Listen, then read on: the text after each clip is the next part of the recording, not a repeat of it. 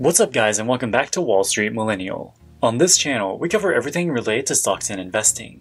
Today we're going over a corporate scandal that goes back decades, but has recently flared up again. Since the 19th century, Johnson & Johnson, or J&J, has sold its iconic baby powder. The soft, powdery substance helped the company grow into the behemoth it is today, with nearly half a trillion dollars in market cap and $23 billion in quarterly sales. But according to relatively recent revelations, this baby powder, which millions of people use on a daily basis, may have contained an extremely toxic substance for decades. Even worse, some people have alleged that the company knew about this contamination, but because symptoms don't show up for decades after exposure, they decide to cover up the contamination rather than announce it publicly. Of course, Johnson & Johnson has denied these claims and emphasized that all current and modern talc powder that they have sold is compliant with health and safety regulations. But regardless, they have already lost several lawsuits and been ordered to pay out billions of dollars in damages and penalties.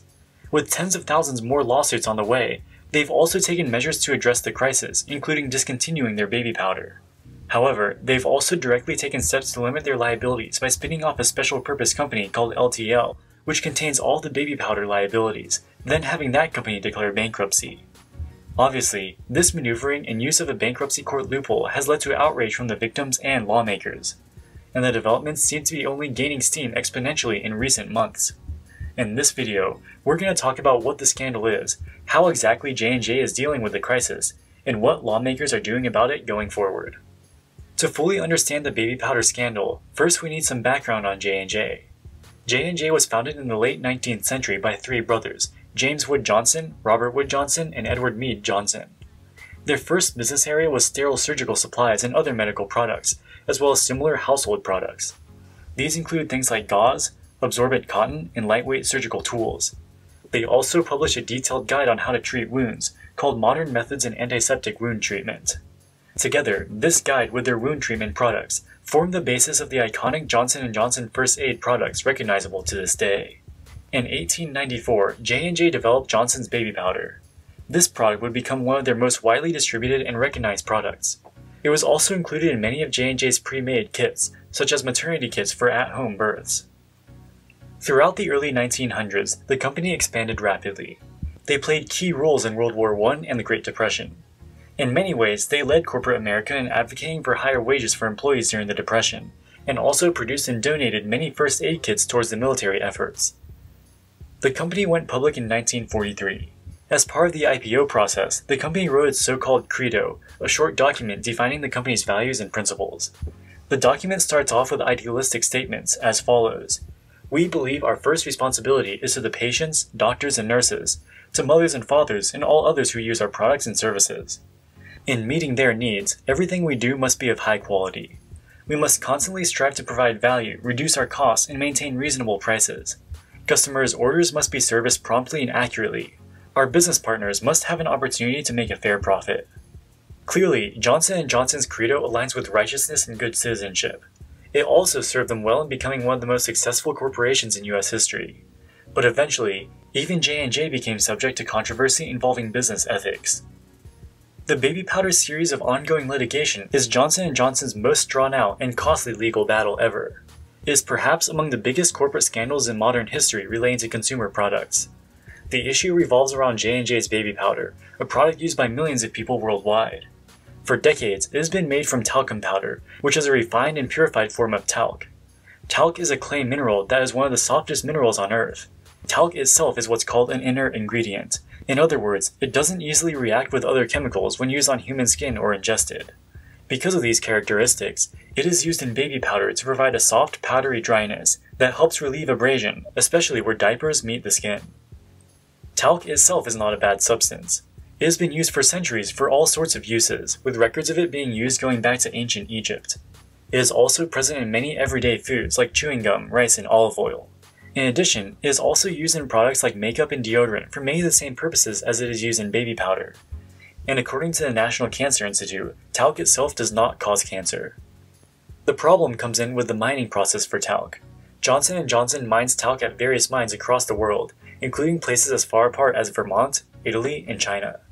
While J&J claims to use the highest quality standards in filtering talc mined into usable and unusable samples, tests going back to the mid-1900s show that they found contaminants in some of their talc.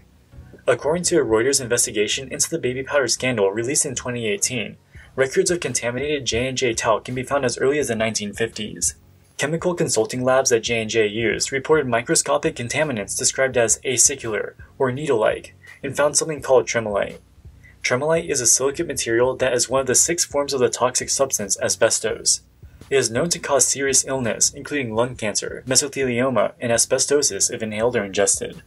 Unfortunately, tremolite is frequently found alongside talc in talc mines, which theoretically leads to the toxic substance in baby powder used by millions of people. Asbestos used to be used extensively for various construction materials. It's a silicate material that has many useful physical properties. Because it is basically fibrous rock, it is a good electrical and fireproof insulator. For these reasons, it was used extensively in construction until the 1970s. Around that time, scientists and the public began to realize that asbestos is highly linked to tumors in humans and animals. In particular, it has been known to cause mesothelioma, Mesothelioma is a type of cancer that affects the thin membrane that surrounds many internal organs, especially the lungs and chest wall. Symptoms include the buildup of fluid around the lungs and usually start about 40 years after exposure. Getting mesothelioma is akin to a death sentence, though. Only about 8% of people with the disease survive for more than 5 years. With diseases as serious as mesothelioma and ovarian cancer possibly being caused by Johnson & Johnson baby powder, it's no surprise that once people thought the baby powder was to blame, that the lawsuits would come rolling in.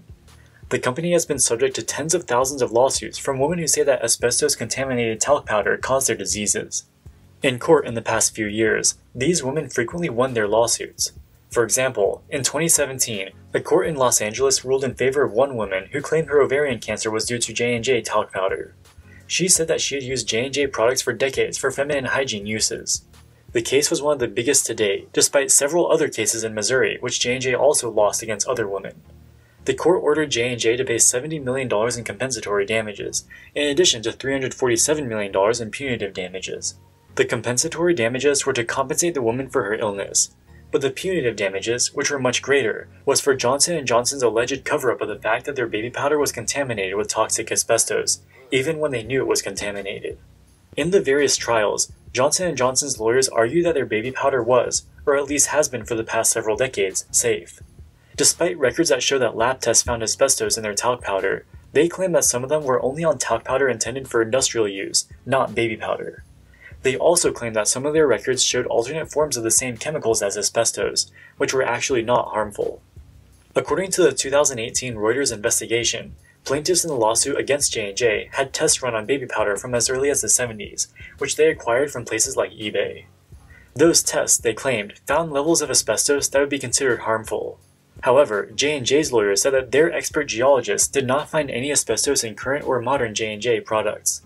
Because of the long period of time between exposure to asbestos and the onset of the cancers associated with it, it's difficult to assign blame beyond a reasonable doubt. While J&J might be able to truthfully say that their modern, or even their baby powder from the last 40 years, did not have appreciable levels of asbestos, many of the plaintiffs in the legal cases cite baby powder from before then. And the courts thus far have sided against the half-trillion dollar corporation. Given their lack of success in the courtroom, Johnson & Johnson has turned to alternative means to counter the never-ending lawsuits. As recently as 2021, the company has tried a strategy to isolate their lawsuit liabilities. According to NPR, they're using a controversial bankruptcy strategy to shield the bulk of the company from the tens of thousands of lawsuits against them over their baby powder. How it works is as follows. Using an obscure Texas law, they spun off a new company called LTL as separate from Johnson & Johnson. This new company holds, among other things, all of the asbestos-related liabilities, but very few of J&J's actual assets. The idea is that LTL can simply file for bankruptcy, putting a cap on the payouts that the plaintiffs in the lawsuits can demand. The consumers of the baby powder can't try to recover damages from the multi-hundred billion dollar company that is Johnson & Johnson. While this tactic obviously seems like a legal maneuver with the sole purpose of sticking it to the victims, J&J says that is how they view the best way of getting a fair outcome for the company. They provided LTL with $2 billion allocated towards baby powder lawsuit payouts, so it's not as though the plaintiffs will get nothing. They're partially worried about these lawsuits going on forever, with no limit to what people can claim against them. After all, with a product as widespread as J&J baby powder over so many decades, the number of people who used it at some point and could theoretically claim damages against the company may as well be infinite. Still, the move has understandably drawn the ire of lawmakers and other critics. Elizabeth Warren from Massachusetts accused J&J of abusing America's bankruptcy system to evade liability and shield its own assets.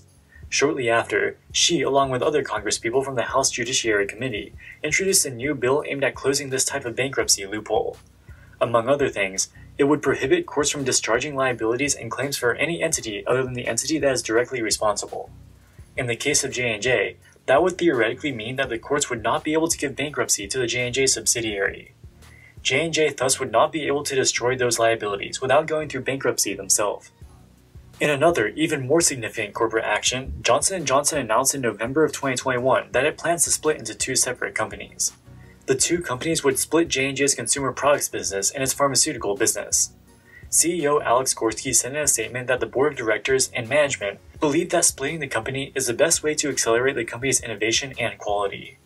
Many economists think that when a company becomes too diversified, the individual businesses become unfocused and management becomes stretched too thin. Also, it's well known that conglomerates suffer what's known as a conglomerate discount. That's the phenomenon where conglomerate companies receive lower valuations from the market than they would if they were split into separate companies. This happens because investors prefer to be able to build their own portfolios of separate stocks, rather than be stuck with whatever constituent businesses the conglomerate entails. But some people also believe that the acceleration of developments in their baby powder lawsuits played a factor in the decision. Once the company splits, the consumer products division, which also makes things like Band-Aid and Listerine, would hold the liabilities of the baby powder. The faster growing pharmaceutical business, which is the business that made the Janssen COVID-19 vaccine, would be insulated from those liabilities. Thus, shareholders of that part of the company would not be dragged down by the possibility of billions of dollars of lawsuits. In any case, a company the size of Johnson & Johnson splitting into two companies is not unheard of, but certainly extremely uncommon. The split is expected to be completed by the end of 2023. It remains to be seen to what extent Johnson & Johnson will be able to get away with its troubled baby powder past. Alright guys, that wraps it up for today's video. What do you think about J&J's baby powder scandal? Do you think they deliberately withheld knowledge of the contamination from the public? Do you think they should be able to spin off their legal liabilities related to it in a separate company to shield the company's assets? Let us know in the comments section below. In the meantime, if you enjoyed this content, make sure to smash that like button and subscribe so you don't miss future videos. As always, thank you so much for watching and we'll see you in the next one. Wall Street Millennial, signing out.